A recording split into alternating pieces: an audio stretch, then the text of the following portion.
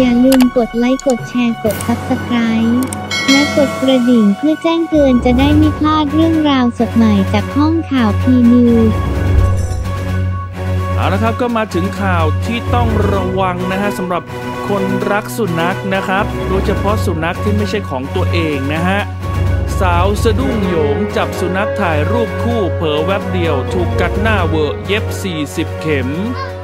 เมื่อวันที่ 17 มกราคมที่ผ่านมานะครับ เว็บไซต์ Daily Star นะครับ เผยเรื่องราว ลาล่าแซนสันหญิงสาววัย 17 ปีจากอาร์เจนตินานะครับ ได้โพสต์ท่าถ่ายรูปคู่น่ารักน่ารัก กับเจ้าสุนัขพันธุ์ German Shepherd ที่เพื่อนเลี้ยงไว้นะครับ ซึ่งเธอ happy อยู่ริมสระน้ำโดยไม่คาดฝันว่าเหตุร้ายกำลังจะเกิดขึ้นกับเธอในไม่ช้า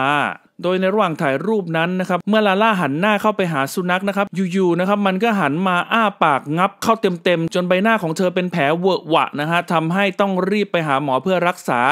โดยต้องใช้เวลานานกว่า 2 ชั่วโมง แล้วก็เย็บไปถึง 40 เข็มนะครับภาพถ่ายในช่วงเวลาเกิดเหตุนะฮะได้ถูกบันทึกไว้ในกล้องทั้งหมดนะครับโดยลาล่านะครับนำภาพชุดเหตุการณ์ดังกล่าวมาโพสต์ แล้วก็แชร์ลงในทวิตเตอร์ของเธอนะครับพร้อมกับแคปชั่นว่าเมื่อการถ่ายภาพไม่เป็นอย่างที่คิด หลังจากภาพดังกล่าวถูกโพสต์เมื่อวันที่ 14 มกราคมที่ผ่านมานะครับ ก็กลายเป็นไวรัลอย่างรวดเร็วนะครับ แล้วก็มีผู้กดถูกใจมากกว่า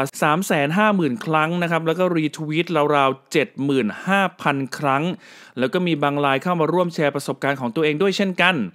ลาล่าเผยว่าตอนที่โดนกัดเธอไม่เจ็บมาก แต่ตอนนี้แผลมีอาการอักเสบทำให้มันค่อนข้างปวด อย่างไรก็ดีเธอไม่ได้กล่าวว่าเป็นความผิดของสุนัขนะครับ คิดว่ามันไม่ได้ตั้งใจ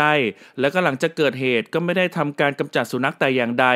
ทั้งนี้ไม่รู้ว่าเป็นเพราะเธอไปโดนสะโพกของมัน หรือกอดคอมัน จึงทำให้มันตกใจกลัว แล้วก็สู้กลับตามสัญชาตญาณแต่ก็อาจจะไม่ใช่ทุกตัวที่เป็นแบบนี้นะครับ สุนัขมันน่ารักนะครับ แต่ว่าถ้าไม่ใช่สุนัขของตัวเองเนี่ยมันอาจจะไม่รู้ใจเรานะฮะก็ฝากข่าวนี้เตือนให้ระมัดระวังกันด้วยนะครับ ขอขอบคุณข้อมูลดีๆจากกระปุก .com ฝากพีนิวส์ Facebook page ทวิตเตอร์ห้องข่าวพีนิวส์ IG P News Station และขอขอบคุณทุกท่านที่ติดตาม แล้วเจอกันใหม่ในคลิปหน้า สวัสดีครับ